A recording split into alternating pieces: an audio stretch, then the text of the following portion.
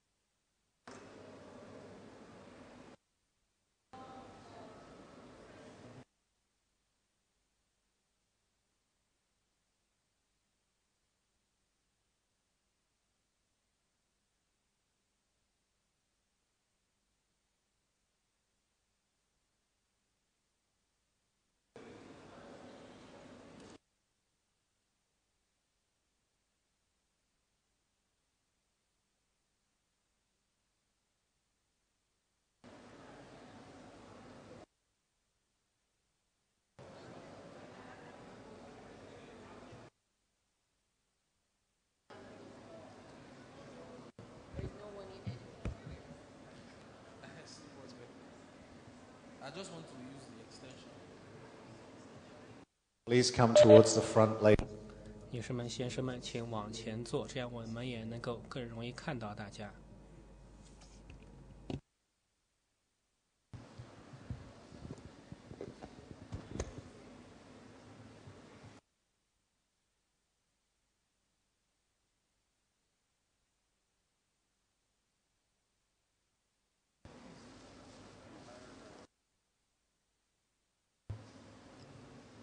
Thank you all. 好了，谢谢大家能参与这个讨论。我们今天下午的这一块的这个 Open Mic 这个会议就要开始了。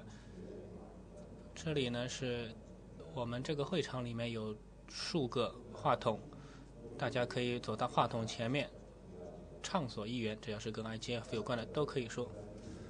如果说这还不满足的话，你们什么事都可以说，不一定要跟 IGF 有关，都可以说。好，谁想先发言？可以说任何今天啊这一周会议上面的一些内容啊，你们某一个专题会议上的会议可以谈 IGF 这个组织本身，给我们一些反馈。今天呃，或者说这一周你们过得怎么样？你们这里的设施怎么样啊？组织工作怎么样？这个会场够不够大？所以我们真的是非常自由开放的。什么都可以说，畅所欲言。女士们、先生们，我看到有人举手了，那请您走到话筒前面。啊，如果说大家要发言呢，可以啊自觉的在后面排队，好不好？那先自我介绍一下，可以吗？好，谢谢给我这个机会。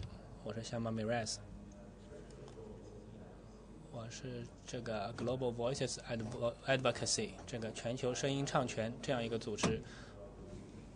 本周也是有一个非常好的机会，我也是认识了很多人，跟许多呃志同道合的人呢有了一些交流。不过令我感到最大的一个问题呢，是有很多的公民社会的组织。我也是发现，其他很多人他们声称是公民社会，但实际上可能还是代表一些个别的利益，或者是由政府来支持赞助的。我知道，比如说我，因为我知道摩洛哥的，其实一些这个公民社会他们是没有这个资源，没有这个钱，一直让他们飞到巴厘岛来，但是他们是可以发电子邮件，这个应该是没问题的吧？我想问一下，因为你说所谓的公民社会，那你是不是可以界定一下您觉得的公民社会的这个定义？哎，关键就是看他们的钱从哪儿来吧。我觉得他们的资源从哪里来，把人派到这么漂亮的地方，对不对？要花很多钱嘛。所以说，我因为是这个呃摩洛哥人，我知道摩洛哥现在发生了很多事。那么我也看到一些这个，应该有一些人。我不知道有没有摩洛哥代表团有没有这样的人，他们可能现在去海滩玩了吧。但不管怎么样，摩洛哥实际上是发生了一些事情。我我能不能有两分钟，我来读一下其中一个公民社会的摩洛哥的公民社会，叫做南 k 克 g 我来念 M A M F I N，它的拼写是这样的。他们的一个声明。K I N C H，这个组织名字是这样拼的。九月十七号，一个记者阿里 Anuza，以及这个 lacom 的呃点 com 这个网站的阿拉伯语编辑。那么这个记者呢，他也是在摩洛哥很知名的，他是被捕了，因为。他有一个文章里有一篇链接，链接到一个西班牙的这个网站，然后这个网站里也是，呃，提到了一个视频，也是链到一个跟基地组织有关的这个视频。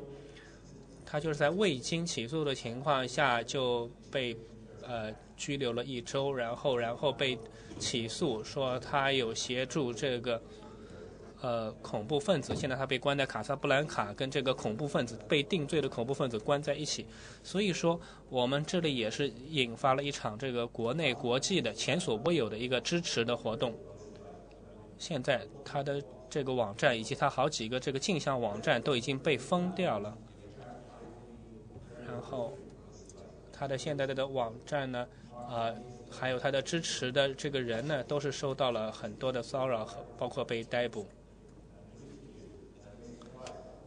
实际上，呃，最近呢，摩洛哥对他的公民来说，呃，也是在做了很多的工作，普及互联网，减少这个网络的这个审查等等。我们二十二月二十号的运动，也就是我们这个阿拉伯是存在我们国家的一个呃展示的运动呢，也是很多是通过这个在线呃进行的，而且呢。这个最近也是因为有一些这个呃恋童癖的这个被定罪的情况，也是使得这个我们也是迫使这个我们的呃皇室呢也是不得不撤销了他原先一些这个大赦的情况。所以说，但是有了这样的情况呢，我们是希望呼吁这个摩洛哥应该释放这个记者，然后呢撤销任何的相关的网络审查的机制。谢谢，我是 Shadi Abu Sara，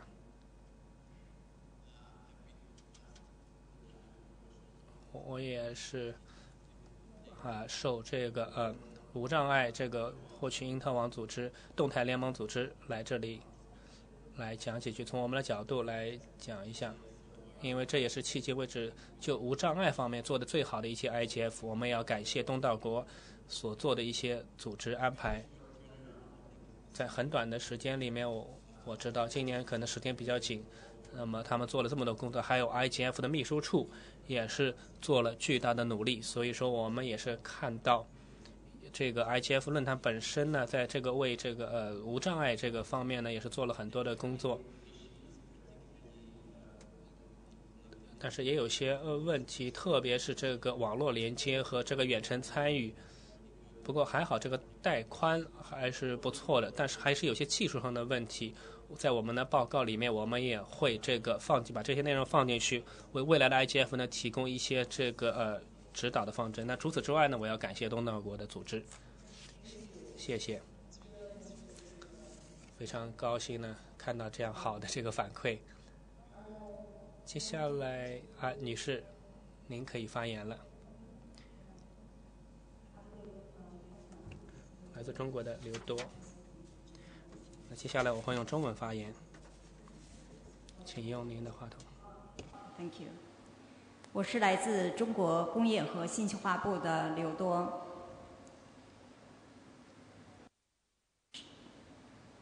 首先，我代表中国代表团再次感谢本届 IGF 会议东道主印度尼西亚政府的周到安排，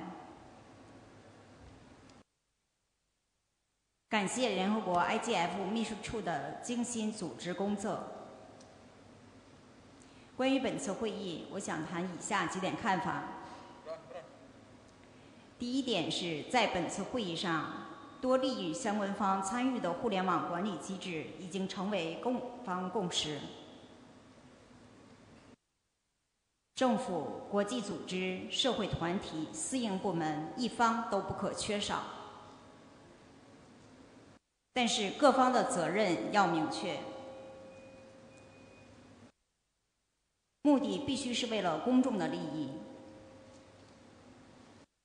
为了世界各国互联网的安全和稳定，而不能仅仅是为了一个国家或少数几个国家团体的利益。第二点是，各方已经认识到改变当前的互联网机制的必要性。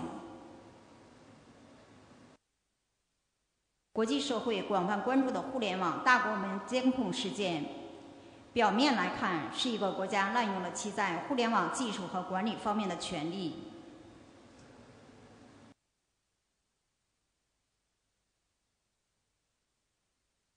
其后的实质是当前的互联网管理机制存在着重大的欠缺。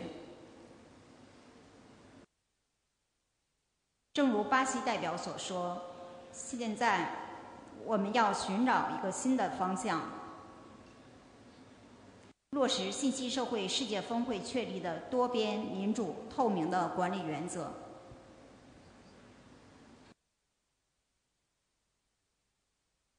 第三点是确立互联网治理原则共识是大势所趋。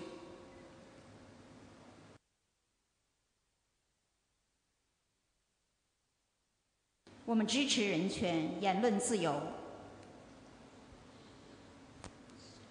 这是全球普遍的共识。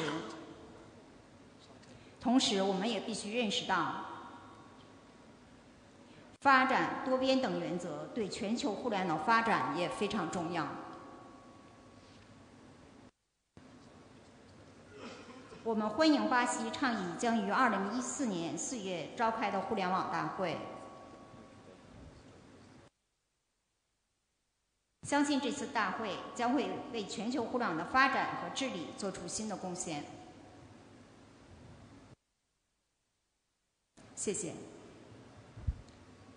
Thank you very much. 啊、非常感谢。啊、请下一位先生发言。我是 Jim 哼首先，呃，我想感谢呃会议的组织方，还有这个秘书处对这个会议的组织，这个会议进展的非常顺顺利。那么所有的安全措施非常好，而且食物也非常的好，这个是我们所有的人都非常感激的。呃，当然也有一些不是呃特别满意的地方。呃，尽管如此，我们还是要祝贺组织方对这次会议的组织。呃，另外呢，就是我们在呃每一个这个讨论的这一个段这个过程当中，它的这种形式的问题，我们一般来说呢都是。呃，四四四十或者四十五分钟，但是呢，我们每一次呢，好像都是有呃很多的这个要发言的人，那么在这个这个过程呃这个当中呢，很多人呢其实都是会非会非常的这个激动，所以呢，这样的呃对于这个组织者来说呢，我觉得我们的这种组织的这个方式呢，还是应该把它继续。进行这个下去，我想告诉你的呢是，就在我们这个会议室的外边呢，其实有很多人也在 Twitter 上边在不断的这个表达，那么他们对于这个会议的这些感受，呃，他们也是非常的激动，所以非常感谢。我想还有其他要发言的人，啊，一会儿呢，我们好像还有一个闭幕式吧。啊，这一节呢，实际上是我们的一个公开讨论的这个阶段，所以大家可以畅所欲言。啊，我也不会在这个上边呢浪费太多的时间。我不知道大家对于我们今天上午或者昨天讨论的事情还有没有其他的这个话要说？好像有人站起来，好像要出去了，还是要走到前边来吧？我们呃要。在这里呢，可能有些这个发言，有些这个发言呢，我们要这个针对他的发言进行发言。那个人好像也不在，我是不是可以？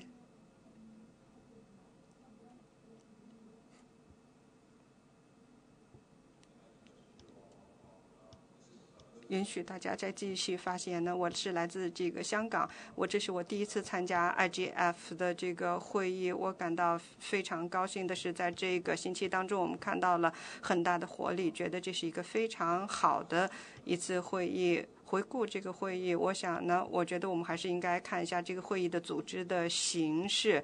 我觉得我们的这个发言呢，应该是把它呃缩减到。最小，但是最短呢？但是呢，就是一两分钟的也是太短了。我们在这个房间里边的专家有非常多。如果我们想要进行一个对话的话，找到一个非常好的机制，这是非常好的。因为我们在这儿有这么多的这些专家，所以呢，我觉得应该呃每个人呢，那么在这个进呃进来之前呢。每一位发言的人在进来的时候呢，就应该把自己的这些东西看过一下，这样的话呢，就比较容易讨论。谢谢。啊，对，我们也是在不断的这个说，就是每一年都在强调，就是不要说的这个讲话不要说的太长太长，但是每一年依然还是有人说的特别长。我也非常同意你的说法。我是来自 Caucus，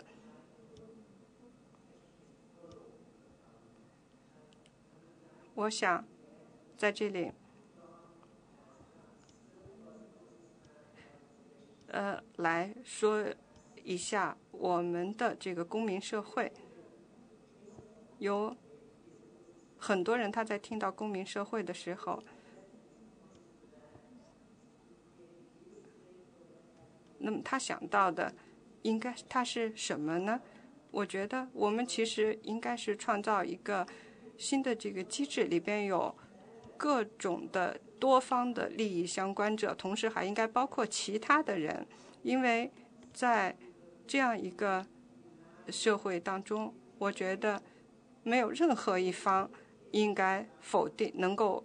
这个剥夺他参加的这些权利，所有的人都应该有权利说出他们心里想说的话。但是呢，并不是说每一个人都能把自己叫做这个公民社会或者公民社会的一员。所以，有的时候，如果我们只强调公民社会的话，这可能并不是一个最好的做法。好，非常感谢。我实际上呢，是对我们在座的各位呢，非常的感兴趣。我也想知道一下，我们究竟应该来定义公民社会。我不知道在座的大家各位是不是都觉得公民社会的定义是合适的？非常感谢，Grace，非常感谢给我这个机会发言。我叫 l e c v a d i a 我代表阿根廷。我觉得这个会议开得非常好。那么这个地方也选的非常好。我想借这个机会感谢秘书处所做的杰出的工作，也非常感谢他们所做的所有的努力，也感谢所有的这些主持人和这些发言人，同时也感谢所有的这些呃参加了组织这个。大会的所有的工作人员。啊，对不起，我现在好像还是有点时差，现这个时候很厉害。我们现在那么组织了一个六年的这个这个项目，这个呢是第一次是在特立尼达和多巴哥，那么来呃庆祝我们的这个六年的这个工作，呃，大家在。如果在这个网上呢，也可以看到我们现在所做的工作。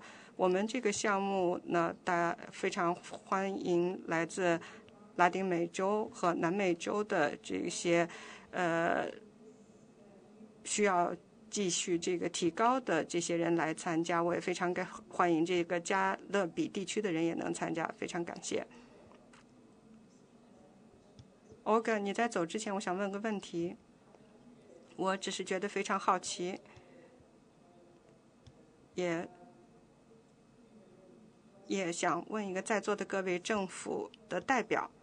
那么我想问一下，就是为什么政府的代表要到这样一个 IGF 这个会议上来？那么到这个会议上边有什么样的价值？我想说。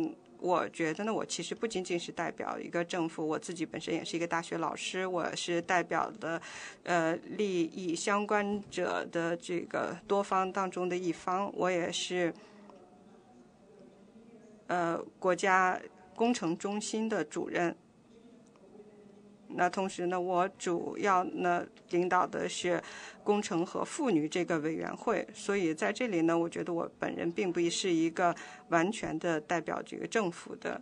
我觉得到这里来，呃，其实主要是为了能够使得利益的相关的这个各方呢都能够平等的站在一起。这个已经是第八届的 AGF 了。嗯我在二零零五年的时候，曾经在突尼斯代表我们国家参加过这个会议。我觉得政府来这里参加 IGF 的会议，首先表明他们是愿意来的。他们也希望能够知道这种沟通的新的模式究竟是什么。但是实际上，这种利益相关者多方合作早就已经发生了。如假如果大家看一下这个不同国家的这个情况的，像 ISP 呀等等呢，其实呢。都是有各国都有自己各国合作的内容，大多数的这种项目其实都是，呃，多方利益相关者所参加的，有的是这个政府间的，有的是政呃政府之间的，是呃这个技术部门的，然后呢，再还有一些这个呃学界的这些合作，这些其实在我们的生活当中其实已经是在进行的了。那么技术使它成为了进一步的可能。政府到这里来，主要是为了能够分享相互的经验，同时呢，能够呃积极的参与进来，能够最后在这个会议上能够取得比较好的成果。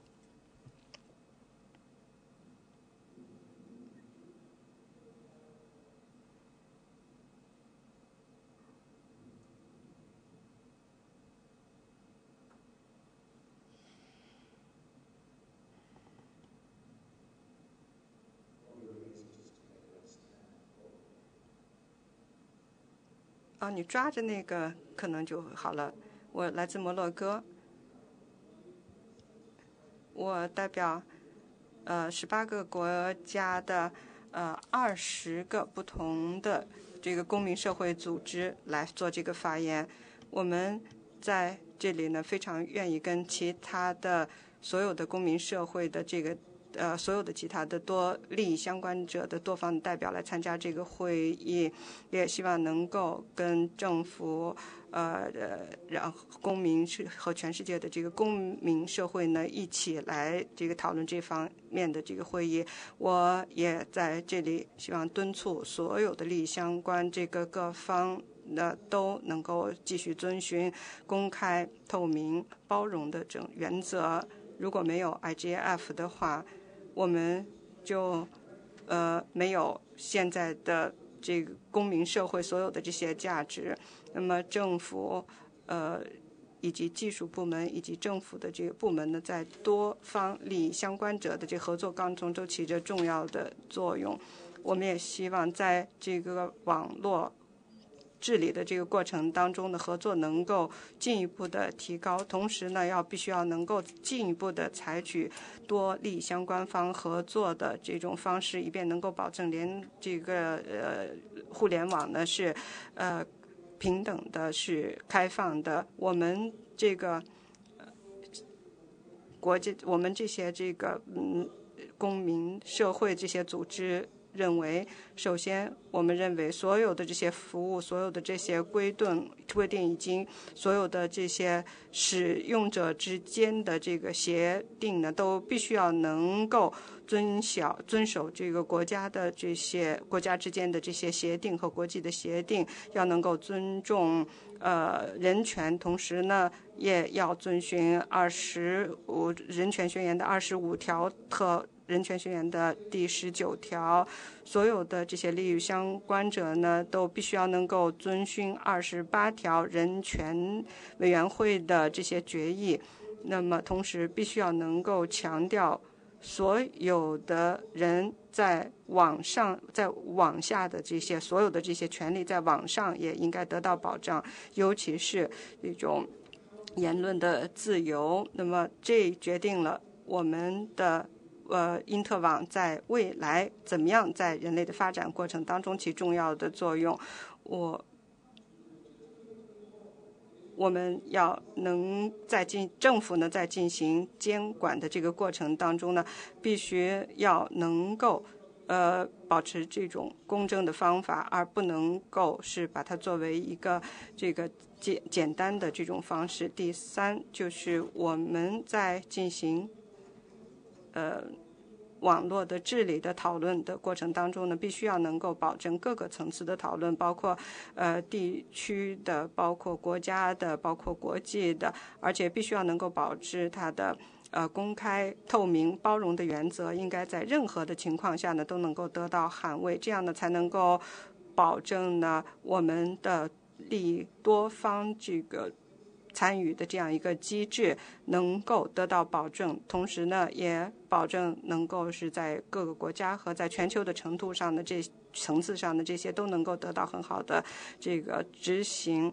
我们在进行这个过程当中呢，各个机构，同时包括这个国家的政府，都不能只说。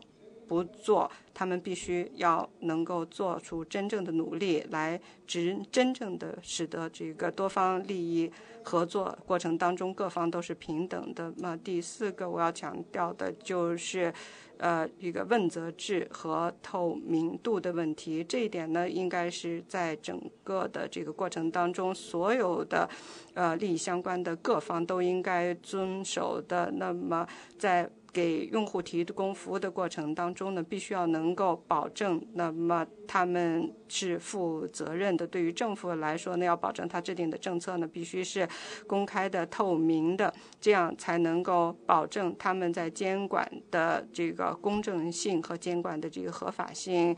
那么我们至于关到内容的这个是，对关于内容的这个呃监督，以及关于在网络。上的其他的这些监控的话，我们所有的这些利益相关者呢，必须要能够独立的做出自己的这个工作，同时呢，要对这些监管呢进行公共的、去公开的这样的辩论。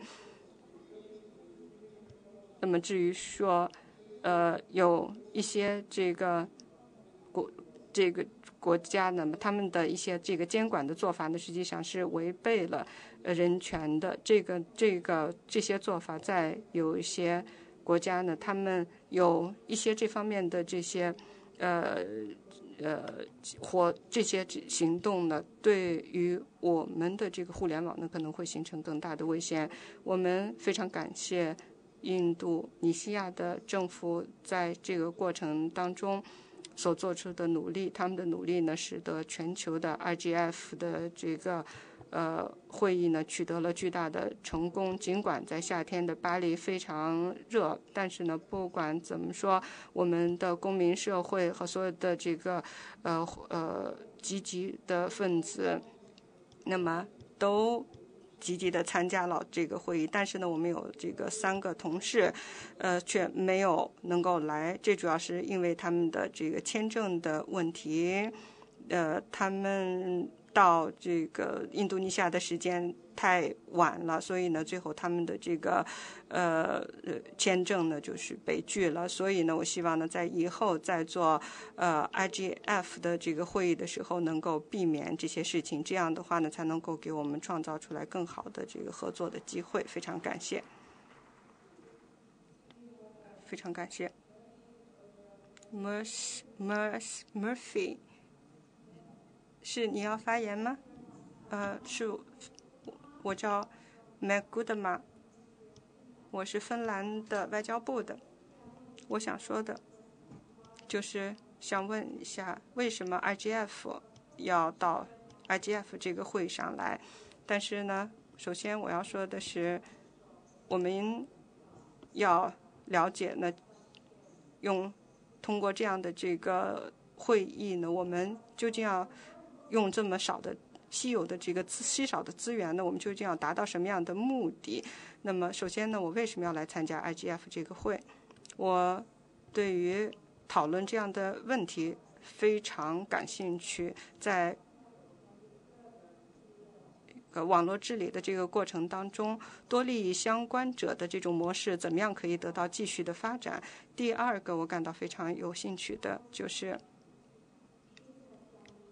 网络应该怎么样把它进行进一步的规范？尤其是 for，尤其呢是对发展中国家，呃，或者说是最不发达国家，我觉得呢这个是在很多的会议上都非常重要的一个重要的这个话题。第三。点呢，我感兴趣的呢就是人权的问题。那么这个呢，实际上是进行了很多讨论的问题。在今年的 IGF 上呢，进行了讨讨论，怎么样来维护人权，怎么样来维护人的这种言论自由。IGF 实际上给我们提供了一个非常好的机会，可以说是唯一的一个在全球能够就因特网进行讨论的一个机会了。在今年，那么，呃，由于巴西政府提出了一个非常好的建议，所以我们的讨论呢是非常好的、非常有条理的。我们也期望能够在这方面有更多的跟进。那么下一点呢，就是关于 IGF 的呃资金的它的运行的问题。IGF 在这个运行的过程当中呢，那么它需要一个更好的一个这种协调。现在呢，在这方面呢，我们已经取得了一些进展，有两个呃基金已经建立起来了，这样我们就可以接受一些小额的捐赠。我希望利益相关者的各方，那么都能够有一些。这些呃捐助，那么能够使得 RGF 的运作更加稳定，也能够确保我们能够聚在一起，来在以后呢就这些问题进行进一步的讨论。非常感谢。非常感谢。呃，是您吗？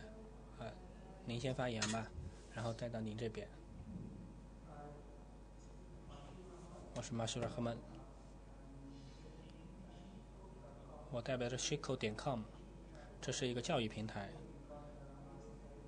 今年呢，我们也是得到了 ISF 的呃2013的奖项。IGF 呢是一个全球性的平台，我们在这里期望解决的是很多挑战。我想强调其中的一个挑战呢，就是我们很多互联网上的内容都是英语的。那怎么样去满足本地呃人民在本地内容方面的需求呢？Shikos 点 com，我们是用这个本地的语言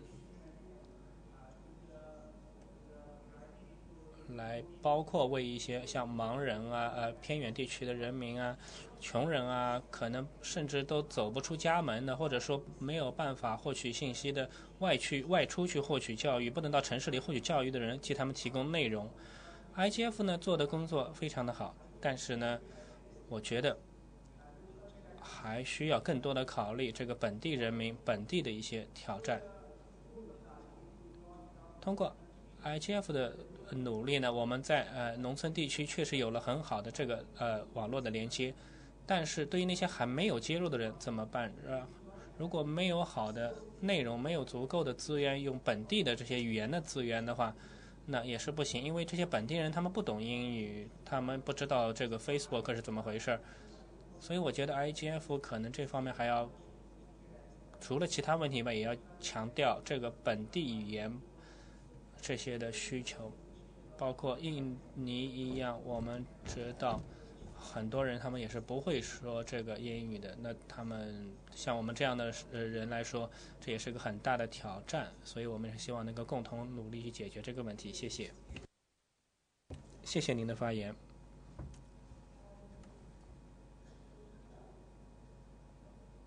啊，是我。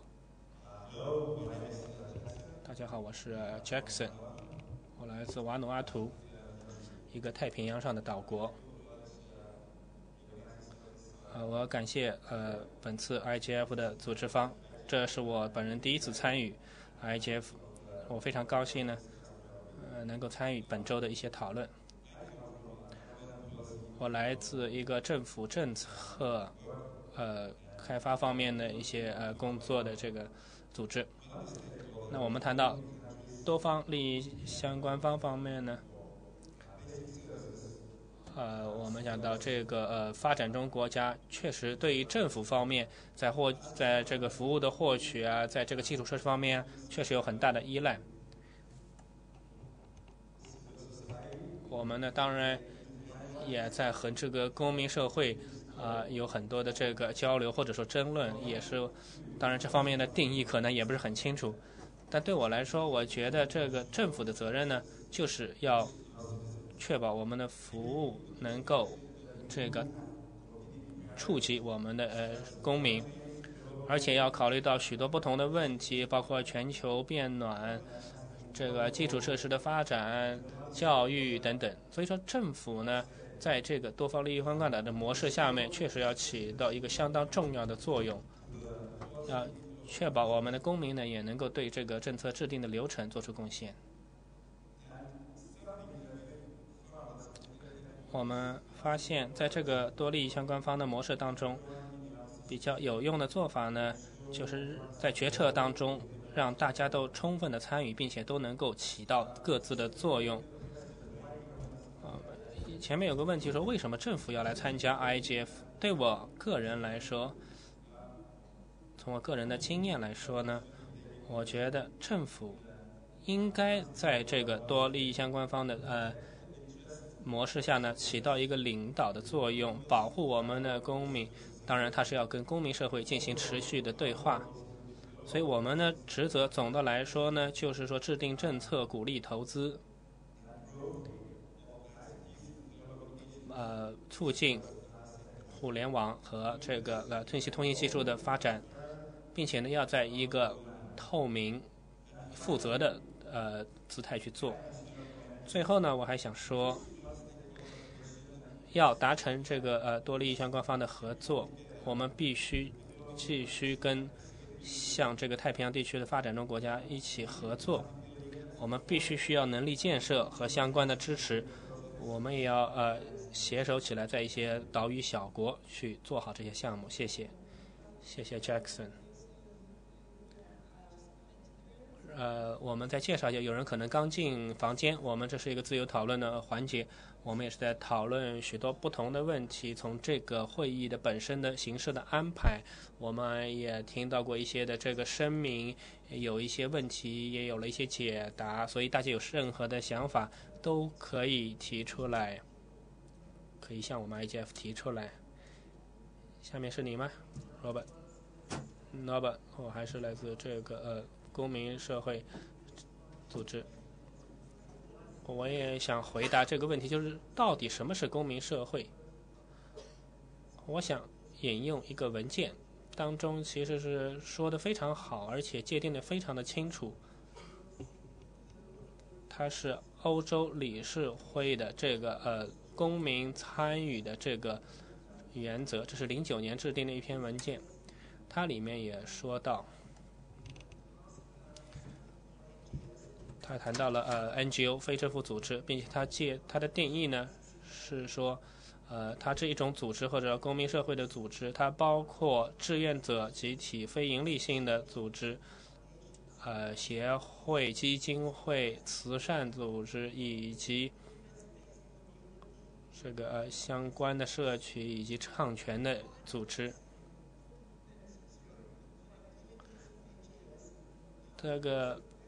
NGO 这个非政府组织主要的工作呢是支持人权、社会正义、民主以及法治。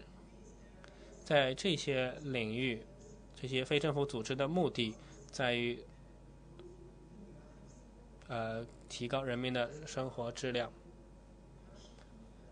当然，这里面有很多的内容啊，所以大家如果想找到全部的这个文字内容，可以联系我。谢谢。好，谢谢，谢谢 Norbert。说的很好，当然，他只是界定了这个非政府组织，还是说，啊，不用急，这个这个再说吧，不然的话，我们就是所有的时间都只能谈到这个问题了。算了吧，妈那个，我是来自斐济，我是代我表我自己发言，我想说呢。关于这个 IGF 的一个最核心，对我来说最重要的一点，也是我全年最重要的愿望呢，就是有效的、有意义的参与。我们会上也讨论了很多问题，本周是做了很多的讨论，所以更重要的呢，呃，就是怎样增加这个呃国家的各个国家的参与。因为我们有一百九十三个国家，至少十九个国家是来自一些发展中的区域，至少九十个是来自于发展中区域，他们很多都没有来，所以说呢，其实呃，对话这个是很重要的。那么我想说呢，多边主义。并不能够，并不是促进这个呃合作的最好的办法，因为比如说，你如果说要立法来确定孩子再怎么听话，那他们只会更加的反叛。但是我觉得我们可以做的呢，是通过一个社区的方式来做。我们其实也有至少十年的一些非常做的非常好的加强呃参与的做法。但更重要的，同样重要的是加强这个问责制和透明度，特别是一些在严重的有就是有这严重争议的问题，大家可能不愿意去对话，这个地方就显得尤为重要了。谢谢萨拉，好，几位男士，我是班达 Dongo，我来自肯尼亚，这是我第一届参加 IGF。这是我第一次参加 IGF，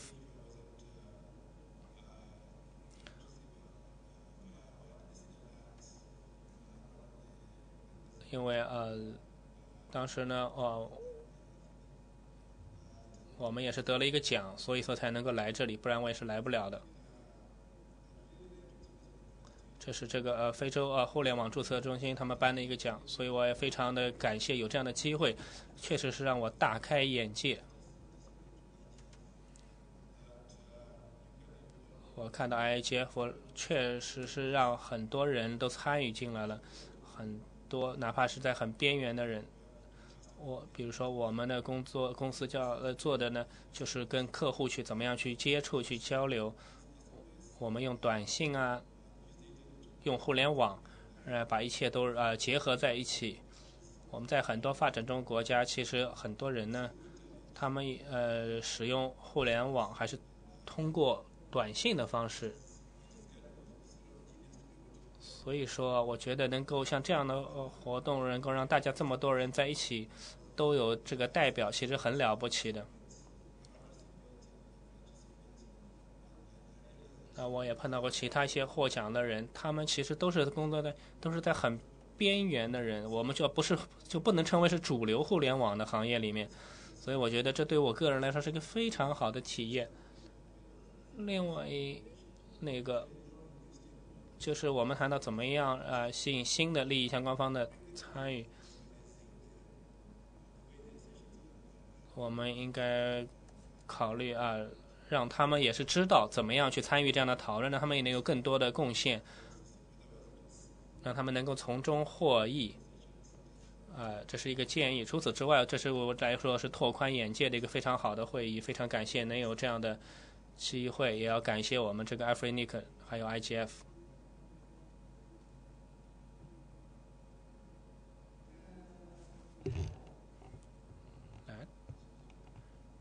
谢谢苏总，我。是 Led，，我是 Diplo 基金会。我想，呃，传达三个信息，两个是来自于一个研讨会，一个是我个人的说的一个话。第一个是关于能力方面，因为我们今天又有一个能力建设方面的研讨会。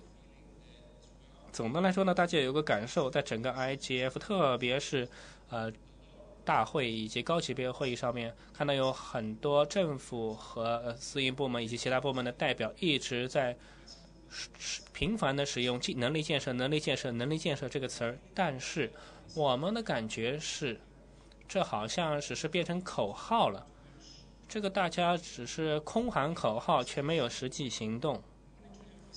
我们想强调的是，能力建设远远超过培训。或者让大家来参与 IGF 这样的会，当然这些都有意义，但是不这样还不够。这是一个非常复杂的流程，包括机制性的培训、在线培训、呃辅导这个呃培训师的培训、评估这个呃进修机会，还有让新的参与者能够融入到这个流程当中的过程，这是一个非常复杂的工作。需要很多的根本性的支持，特别是对那些做能力建设的这些机构，包括资金上的支持，这才能把这些工作为了 IGF 持续下去。那么，这个可能特别需要政府和私营部门在能力支持方面的支呃支持，而不仅仅是呃流于空话。第二个是关于这个电子网络参与的这个呃研讨会，我们也谈了这方面的一些。限制或者说挑战，关于这个远程参与方面的限制。首先，我也要感谢 IGF 秘书长以及所有的工作人员，真的是尽了最大的努力，让这个网上参与成为现实。但是呢，我们还是觉得需要整个 IGF 所有利益官方的全力支持，应该把这个作为一个根本性的流程，不仅仅只是一个 IGF 提供的一种服务。这个让大家整个的。各方参与到融入到这个流程上是非常重要，是必须的。而且我们谈到的不仅仅是这个呃在线参与，还包括社交媒体的使用。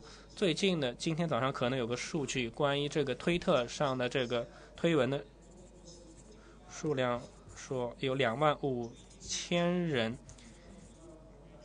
发文说了发推文说了 IGF 二零一三，用这个作为主题。这是在这几天转发以及发呃发布的这个推文，大概也获得了一千万不同的各种类型的粉丝，总加起来一千万粉丝。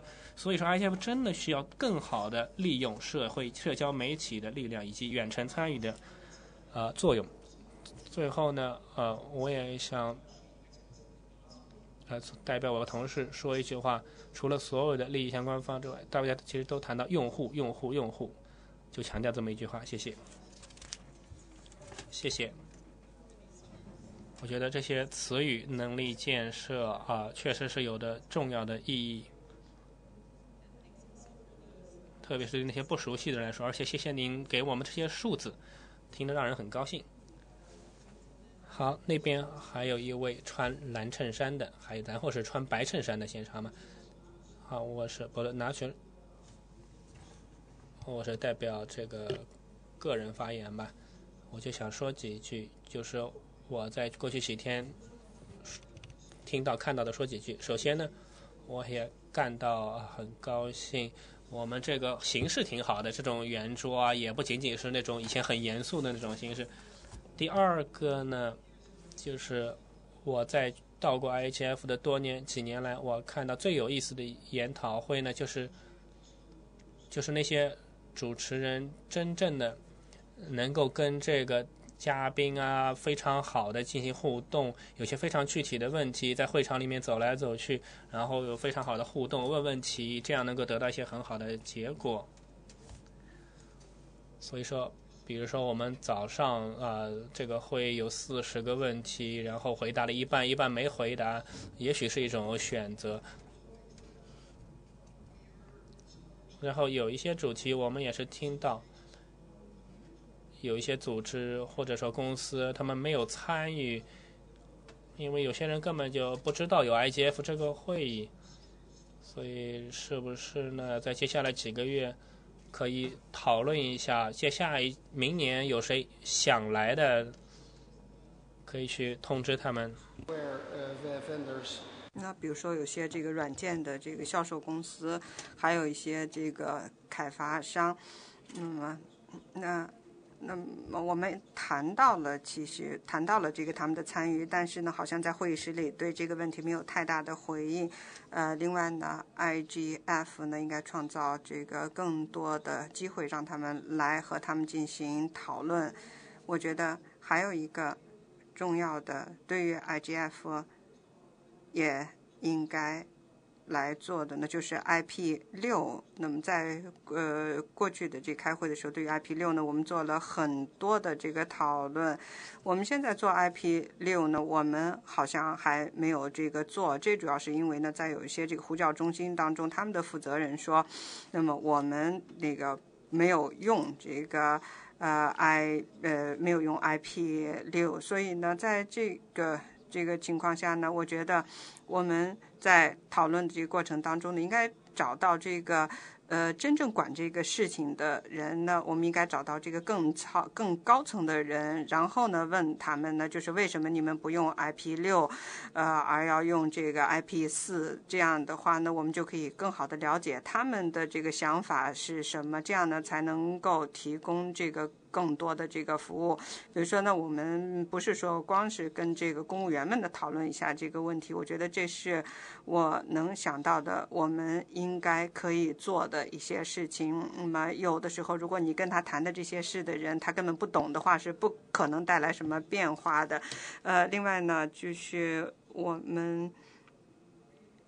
呃，在这个 IGF 的这会议当中呢，大家真的是工作做的都非常的出出色，让我们也知道呢，我们以后应该进行怎么样的这个互动。最后一点呢，也是我想要表扬的一点吧。呃，明天我就会呃离开 IG IGF 了。那么在这个我。呃，离开的这个时候呢，就是有很多的这个关于这个呃网络这个当中的这个一些。讨论的都会给我留下很多的这个信很印象，那么里边有很多的这些数据的这个安全性啊等等的问题，我我不在这不管怎么说，我是非常感谢，呃巴巴黎的这巴黎也非常感谢印度尼西亚的政府，因为在这里召开的这个会议，让我们更好更多的感觉到了友好。啊好，我就想问一下，你刚才。你刚才是不是说到 IGF 的网站有点问题？是说意思是说它是被这个黑客攻击了？呃，我不管怎么说吧，我想。那么我在这个我的那个推特推特里边呢，好像发现了，就是有一个这个律师的这个朋友，他发的这个推特里边呢，他就问呢，就是呃问到我的这个生日是多少，然后那么我的这个情况是怎么样？这个我我们会把你说的这个记下来。现在我们想再来看呃，前边的回应一下前边的这个先生，他提到了 IP 六的问题。我是 Mark，我们在很长时间里那，一直呢在 IGF 这里边的会议非常的多，每次的这个会议的组织方，那么他们的网络和他们的无线网络呢，给我们提供的呢有有。有 IP 四，也有 IP 六。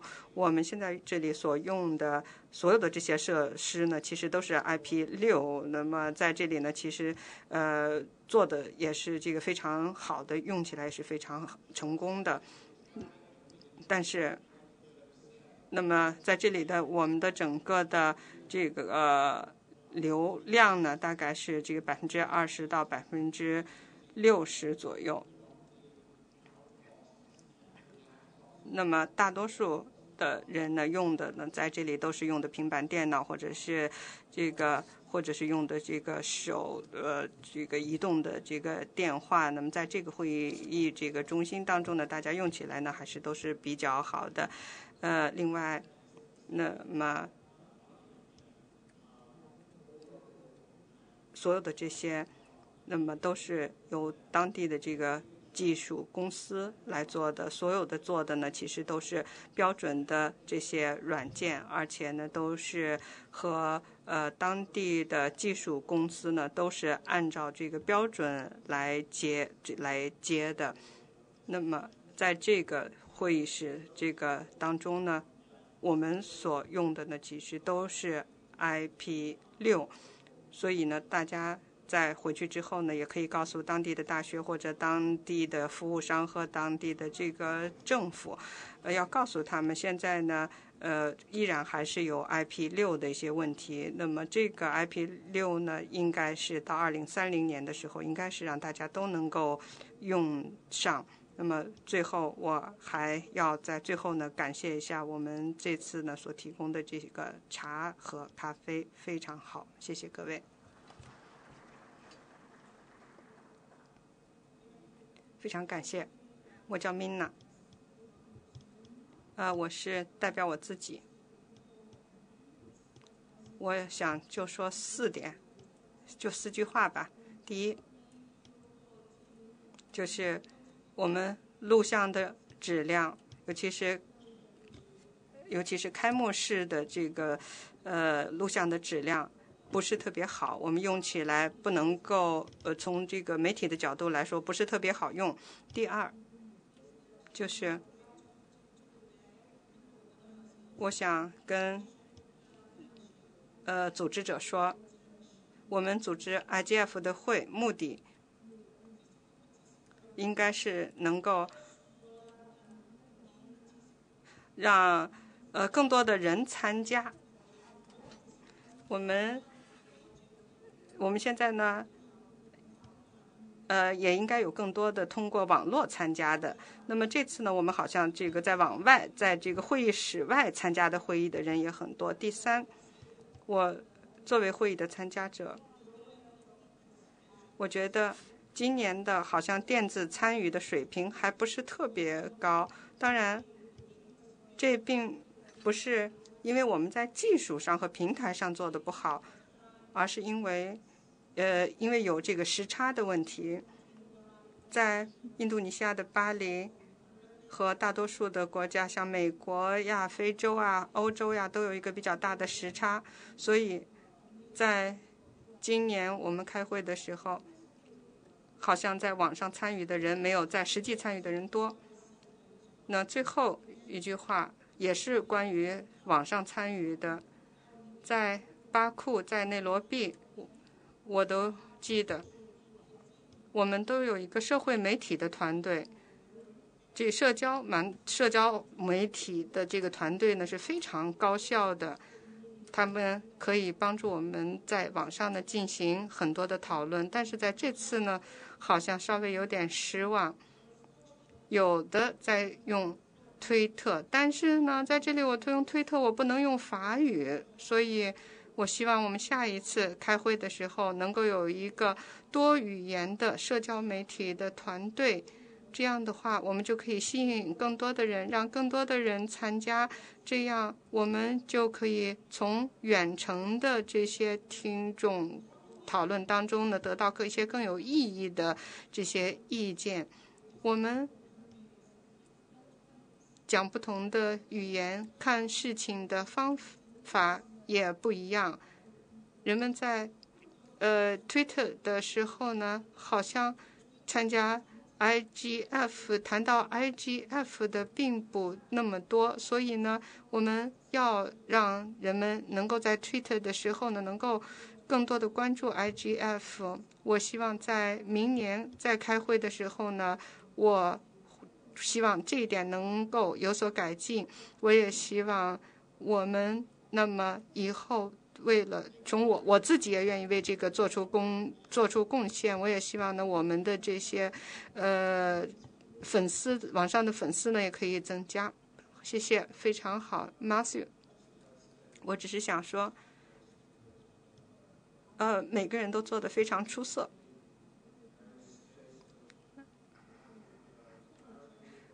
那么有的时候呢，我们这个不是特别步骤不是特别清晰，呃，但是呢，我还是特别想感谢秘书处秘书处。那 Chingat，你是不是站起来？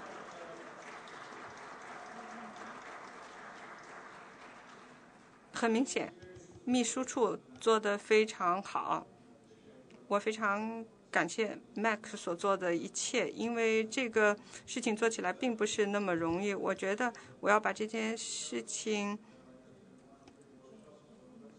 把它这个解释的最好的话呢，就是说我提出了我们要做五六个这个不同的小的研讨会。现在呢，看到呢，我这届研讨会呢，其实开的都是非常的成功的。当然，Mac 呢也做了一些其他的这些工作。但是不管怎么说，呃，我们要开始，呃，为明年的来工作呢来进行决定，来进行规划了。有很多的问题要进行讨论。我们也希望在明年的时候，可以秘书处可以做得更好。非常感谢 z i n n y 啊，请待在那儿，别出去哈。我叫伊兹米，我来自东京的公民社会。嗯，我也是一个多利益相关者呃小组的顾问，RGF 的秘书处做得非常好。我也想感谢在巴黎的这个团队，他们把所有的人都照顾得非常好。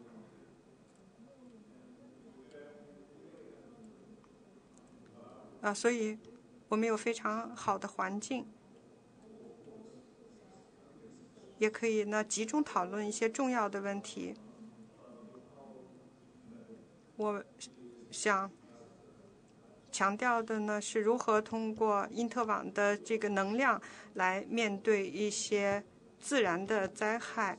在印度尼西亚，在二零零四年的时候呢，我们就讨论过怎么样通过先进的技术来面对自然灾害。我感到非常高兴的呢，是去年在巴库的时候呢，呃，我们谈到这个问题。今年呢，我们有很多的人也谈到了这个问题。那么有很参很多参会的人呢是印度尼西亚人，还有一些呢是，呃，这个其他的这个国家来参加这些会的人。我想告诉所有参加会的人，你们的，呃。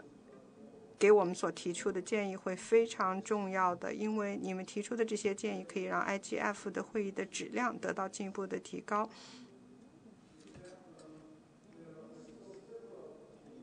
我看到有一些进展，也还有一些新的活动、新的行动，我们正在进行讨论。那么，有的讨论的人有的是初次见面，有的是已经见过多次了。我的一个朋友是昨天晚上离开的。我和他一起曾经讨讨论了一个问题，啊，就是呢，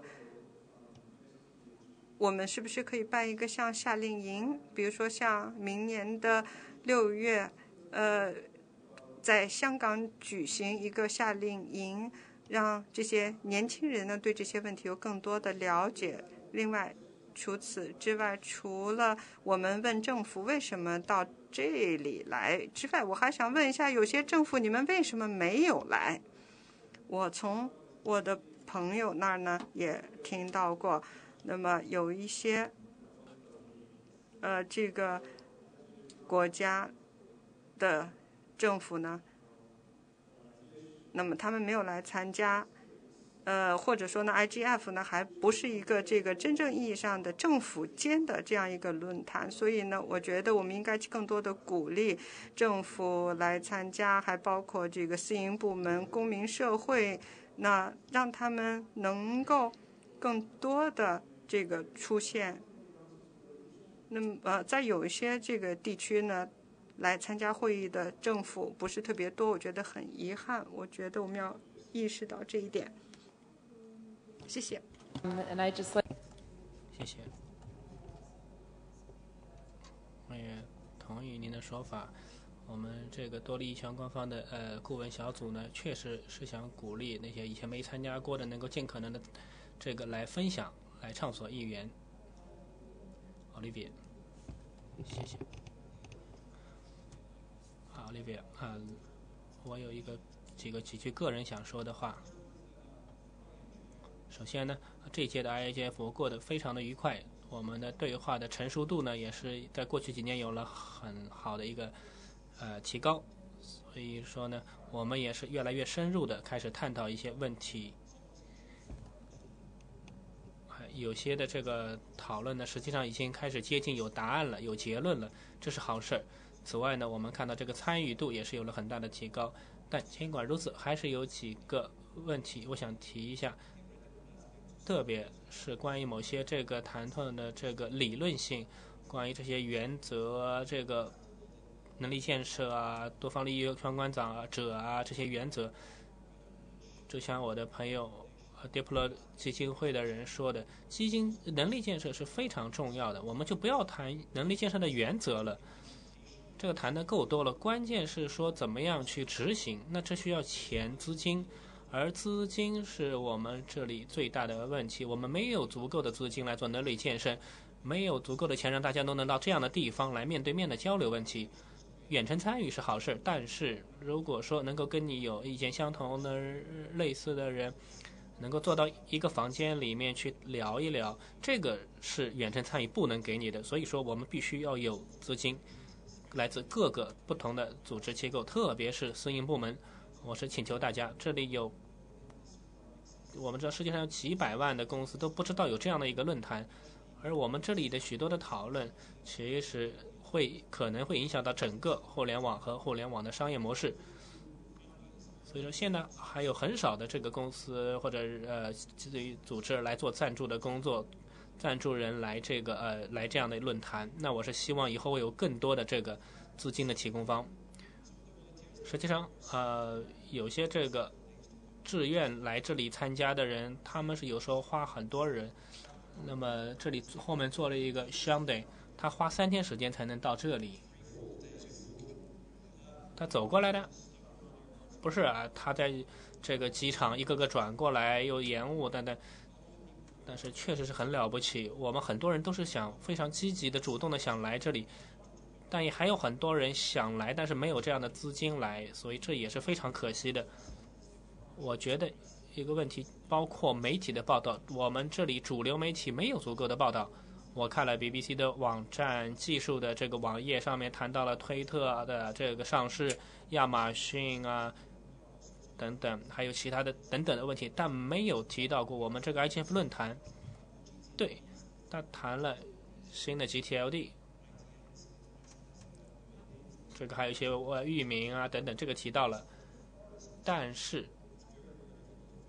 从外面的人来说，他们很少能获得信息。你不能怪公司说不知道有这样一个论坛，因为他们主流媒体根本看不到。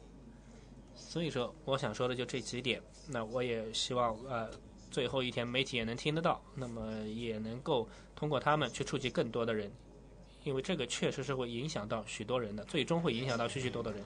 谢谢小李贝。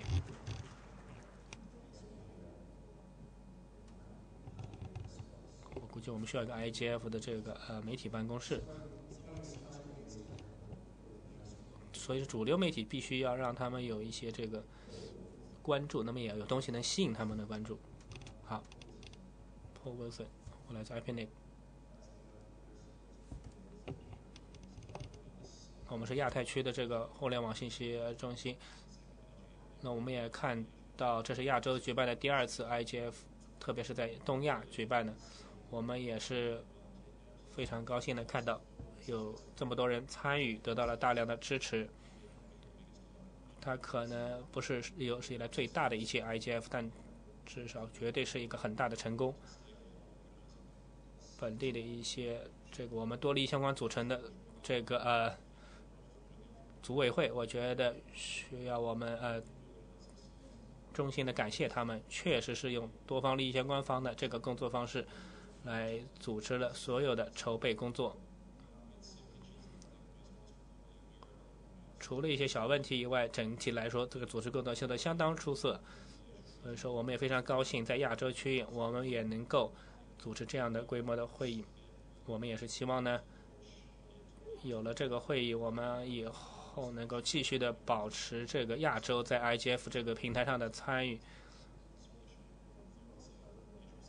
那么我相信啊，我们这方面一定会积极的去做，而且呢，因为我们之前还开过区域的亚太区的 IGF 的会议，也是相当的成功，这个从参与的呃规模来看，内容来看也是。多利益相关方呢，有韩国的这个啊互联网联盟也是做了很好的工作。还有呢，我要说的是，最近在韩国的会议上面呢，我们也是宣布了下一届呃亚太区的 IGF 会议会在呃印度的这个海德里巴呃这个举行，二零一四年，大概是在二零一四年的八月举行。所以呢，我也是希望看到。我们明年很多的朋友来自亚太区，能在海德里巴的这个共聚一堂。此外呢，关于我们这个区域的这个呃多利益攸关方的这个指导委员会，这你可以在这个我们的这个区域 IGF 的网站上面看到 IGF 点 A Asia。我们也是对任何人都是持开放的一个态度。如果大家想这个呃做参与我们的筹备工作，我们欢迎。谢谢 Paul。好，下一位。对，刚才日本的发言人也说到过，应该鼓励那个第一次参加 IGF 的人的发言。其实我来这里也是因为 Paul，也是因为我们呃在新加坡的这个会议上谈到的问题。我觉得呢，一开始我也是一个 IGF 持怀疑态度的人吧。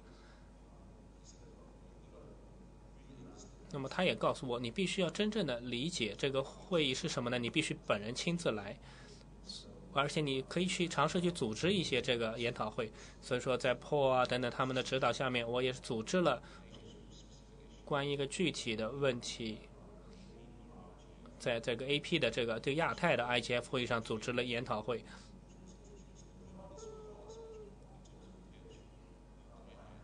这个呃问题呢，就是说。一些这个贸易组织怎么样？贸易组织能够对我们的工作有兴趣？如果说你的工作不重要的话，啊，他们也不会有兴趣。那么现在我可以说，我不在这个持怀疑态度了，因为我看到这里确实很特别的一个场合。我做了组织的工作，我看到我们有一种归属感。这个归属感其实是其实很多年以来逐渐形成的，因为形成了一种信任的关系。所以我看到了这个一开始有人呼吁说更多的商业的这个企业的参与，关键的是在于我们这个系统有很好的一个灵活性，可能没有人预想到我们能有这么好的一个这个系统，这是非常了不起的这样的灵活性，而且大家也没有能够预料到我们能做的这么好。所以说，我们首先从组织角度来说，这个组织本身，呃，运营的非常好。但是真正的价值，在于不仅仅是说这个会议有非常好的一些人，会上有很好的发言，更关键的是提高了大家的这个信任。在这样的一个环境下面，这本身就是个非常了不起的成就，因为可以说啊，没有其他一个平台真正的能够做到这一点，能够真正的体现出这个多利益相关方的做法以及多利益相关方的原则，这个这样形成的一个群体、一个社区，可以说是非常有价值的。谢谢，谢谢，我百分之一百的同意您的说法。我不知道是去年还是前年，我们有一些这个政府来到这个 IGF，他们是有一个建议一个具体的一些模式，然后当时我们也在台上整个全会上讨论这些模式，然后它这个模式呃被一一的解析的很清楚，然后我们今天早上其实也看到有人上坐坐在这里。来谈这些问题，当然有些东西放出来说出来了，可能会被批判，你也不一定感到很啊，会让你完全觉得很舒服。但是这个是很重要的，有这样的分享的平台，这个是真正有价值的。为什么啊？对了，我想说，为什么这个价值这么重要？这个信任感这么重要？因为这是个很多是新的领域，我们都会犯错误。比如说大规模的监控事件，绝对是错误的。但是如果有了这个信任，我们可以建立起我们说到这个宽恕，也就是说，对我们都会犯错误，但是我们把这个错误改正了，这个亡羊补牢，为时未晚。朋友都会犯错误，但是关键能让我们往前走的，是因为对未来持一个积极的态度，而且呢。我们这个背后的一个信任的关系，所以这里建立起的这种信任关系是非常重要、非常有价值的，所以要感谢你们做出的这个成绩。好，那边是谁？我看不见。谢谢，谢谢主席先生。我是 Mary Uduma，我来自尼日利亚。这不是我第一次 IGF，但是呢。我在这里的一些整个一周的这个经历是非常的好，非常的有意义。IGF 呢给了我一个机会，遇到许多伟大的人、伟大的想法，那么也交了很多朋友。他给我机会呢与很多人去交流、去分享、分享知识。然后也取得了很多很好的一些成果，但是呢，我还是有一些担忧，就是说在这个会议之后会有什么样的情况？我们说这个主题是呃建设桥梁，加强多边利益相关的合作，促进增长和可持续发展。所以我们关键是增长和可持续发展。我来自的这个非洲大陆，或者说这个环境呢，这个可得性、经济可行性和可持续性呢，仍然是在互联网这个领域里仍然是比较严重的问题。对我们是在谈远程的参与，所以这个你能访问这个互联网才能够远程参与。而且你要能够经济可行，才能够真正的去参与，而且还有要要可得可用的时候才能访问。我没有参加所有的这个研讨会，我知道呃，这个会议它有它的主题，还有一些分主题，但是呢，我不知道呃。可能有些会议也不是主题，并不是那么清楚。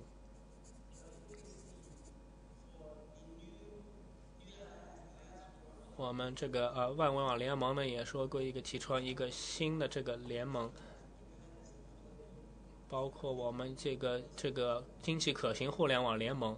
那我希望我们都能够参与这个运动当中，确保大家都能以经济可行的方式获得互联网。我是认为应该有一个研讨会，讨论如何让互联网在经发展中国家，特别是最不发达国家，能够获得互联网、普及互联网，有些政府，正如其中其中一个发言人说过的，他们觉得这里面对他们没有什么利益，没有什么好处。这和这个签订这个呃条约啊什么的不一样，好像并不能让他们能够有什么有法律效应的一些这个做法，所以他们对这个论坛也不重视。但是我们觉得呢，实际上这个，比如说在我的这个国家里面，这个呃国际政府也是学习到了，他们要起到这个领导的作用。我觉得我们的组织方呢做起呃做了很好的工作，我们也是过得很愉快，所以要感谢我们的主办方，也是希望更多的发展中国家能够参与这个会议。互联网呢，这个也能够对大家来说价格更加低，更容易获得。谢谢大家。啊，非常感谢 Mary。那儿有一位先生。啊，啊，就是非常简短的说一下，不是，呃，WPC 是万维网基金会，WTC，呃，实际上是一个技术性的这样的机构，而我们的这个工作，呃，主要呢是一种这个，呃，这这是一种大家的大家的联盟。呃，刚才您讲话，您是对，他是刚才他是 W3C 是万维网的联盟，他和他和他我在的这个机构是不一样的，所以希望啊，大家下次是不是都带着自己的这个牌子就好了？啊，那么刚才那或者是带这个不同的身份吧。我来自尼日利亚，这是我第一次参加这样的会，我想感谢。呃，印度尼西亚政府给我这个非常好的机会，我非常感谢这个基金会，因为他们使得我们对于 IDC，那么对于呃互联网的联呃互联网的这个治理的概念呢，有了更多的了解。我觉得。那么，所有的已经有了火车的人呢，他们也应该知道那些有汽车的人他们想干什么。政府也应该使得，呃，我们有这样的这个资源能够参加到这个因特网当中。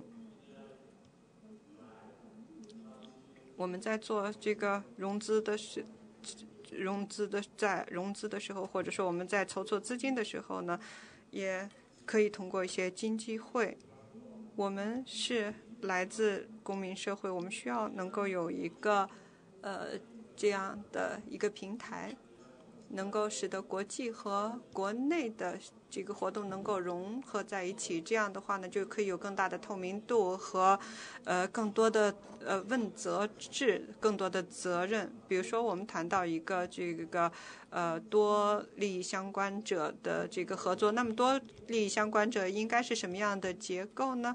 呃，非常感谢你第一次能够参在参加 IGF 会的时候提出了一个很好的观点。呃，各位大家好，我要讲法语，好吧？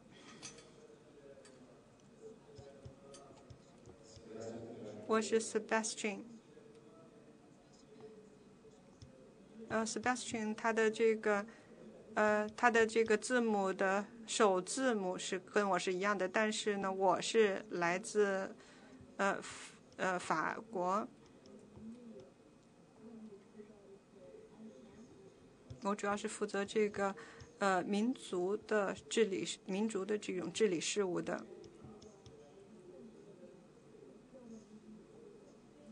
非常感谢，非常感谢把我的这个名字写在那儿了。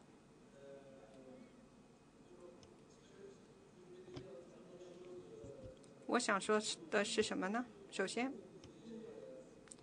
我们的中国朋友刚才利用这个机会呢，用他们的母语发言了，所以我觉得我们应该支持，而且应该鼓励所有的人都用他们的母语来发言，因为有不同的语言，这就给我们一个更好的感觉，让我们知道呢，就是这是一个多语言的会议，而不是仅是英语。有一位发言人，他也感谢这个会议的组织者，他感他说呢，组织的非常出色。我觉得，那么在外边呢，这个太阳高高的挂着，照得非常热。那么在一个会议室里边，我们觉得非却是会开得非常好。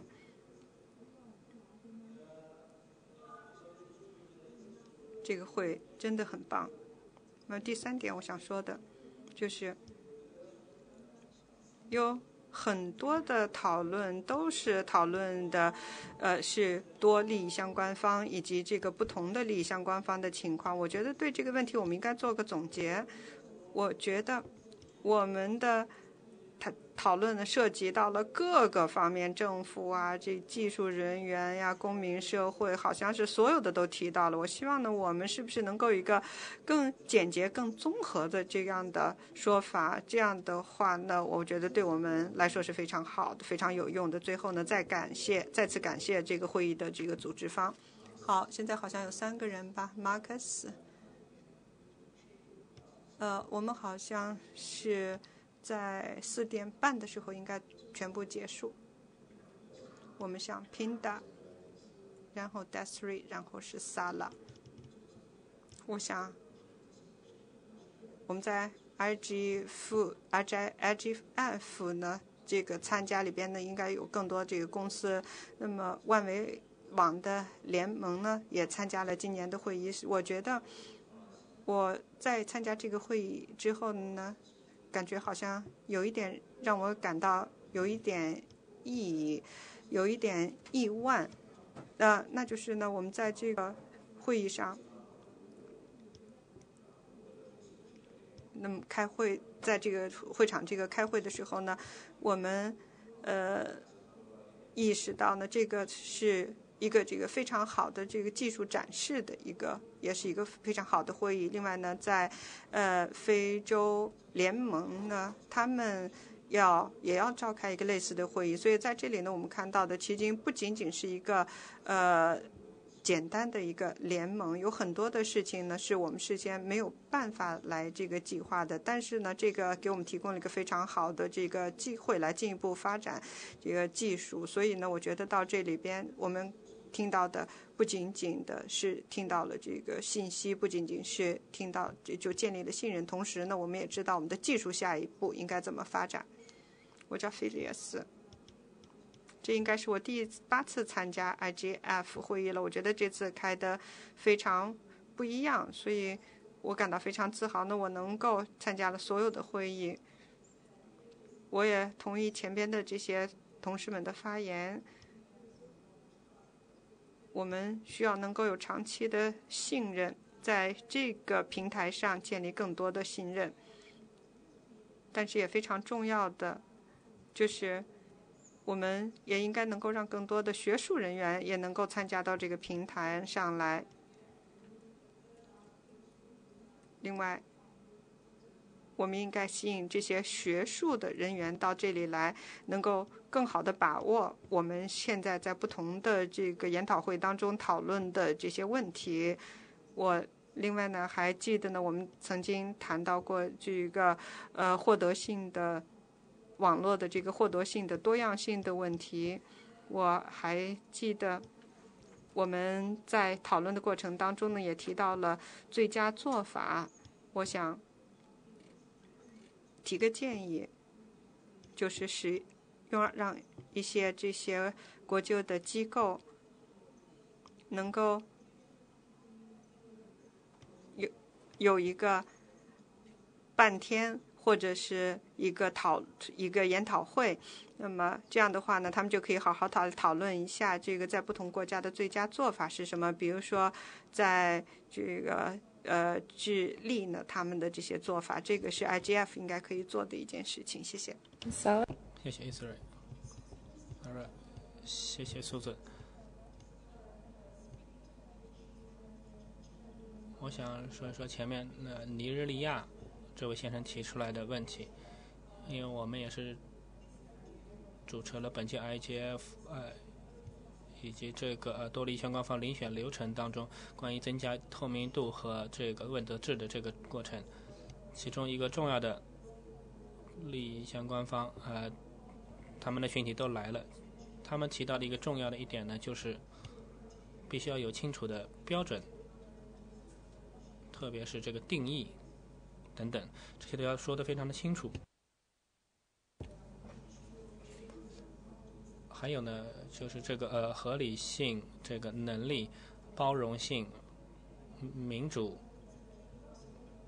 这个地理的多样性和年轻人这些参与都提到了。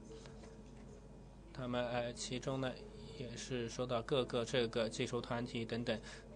如果要这个往前走，要加强这个多利益双方的合作的话呢，我们不能够回避问题，必须每一个问题都要非常切实、清楚的去解释怎么样去解决。谢谢主席，谢谢萨拉。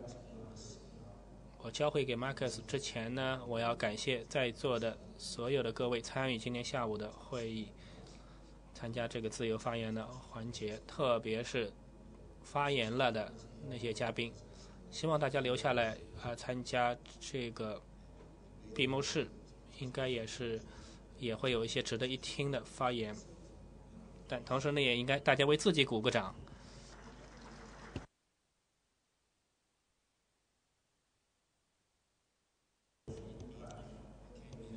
谢谢大家。我来这里呢，以为大家会对着我扔这个西红柿、烂番茄之类的东西，不过没想到是。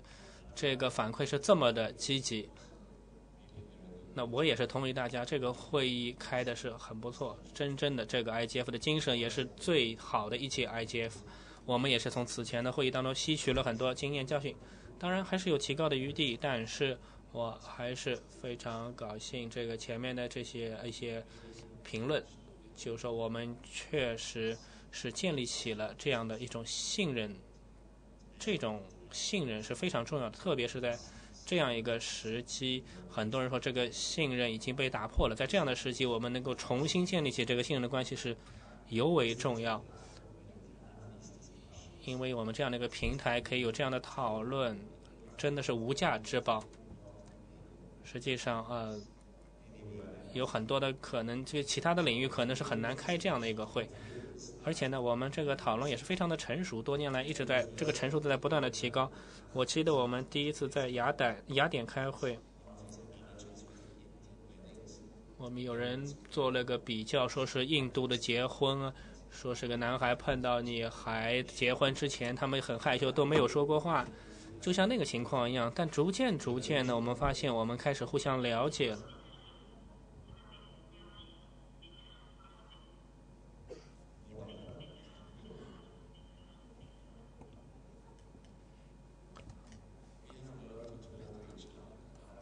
这个我们是学会了互相的交流，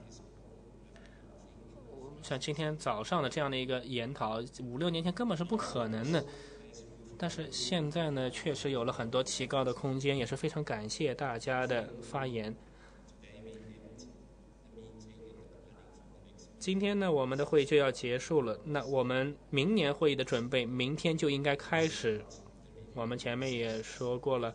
Matthew 也是，我们很快要开始这个回顾的这个流程，从从我们的这个在线的讨论开始，需要这个整个社区的一些呃参与。我们明年还会有这个，明年二月还会有一个会议。是的，我们有了提高，但是还有提高的余地，还可以精益求精。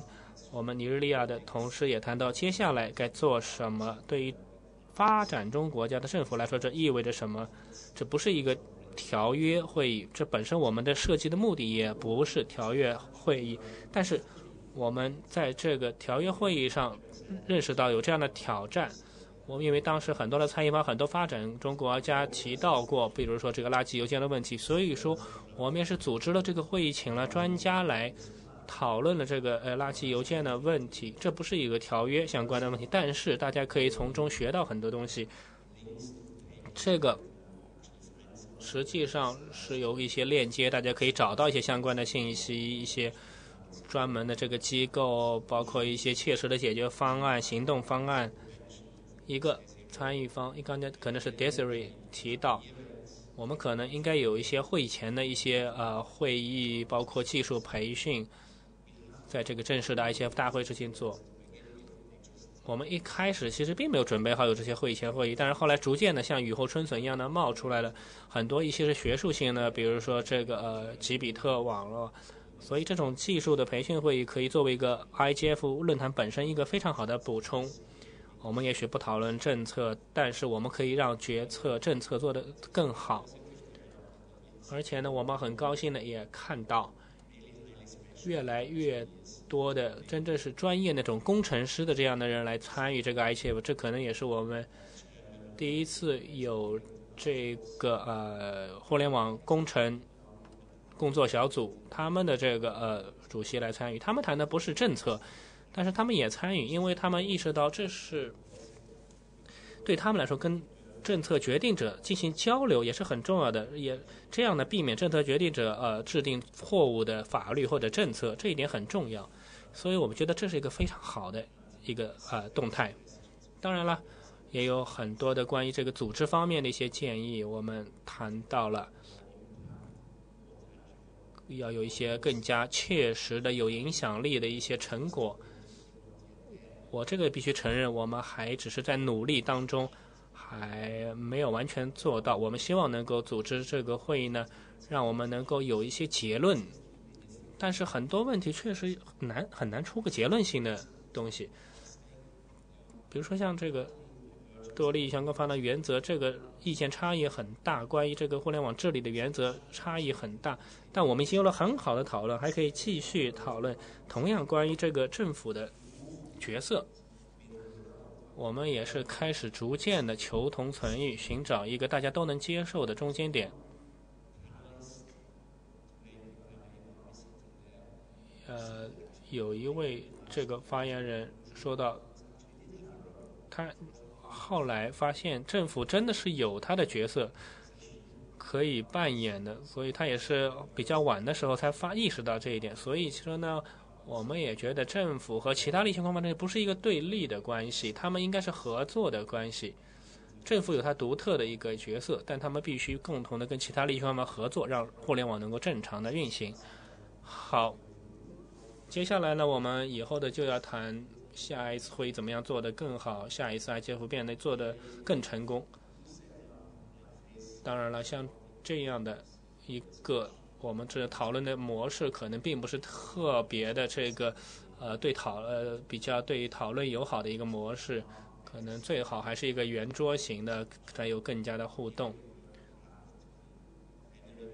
这里我们有类似于这个全会的，因为因为我们后面是这个闭幕式嘛，所以也许我们可以把这个会议放到另外一个会议室里面。是，当然了，这里有翻译，我也知道，还有这个速记等等，所以这个东西呢，总归是有好处也有不利的地方。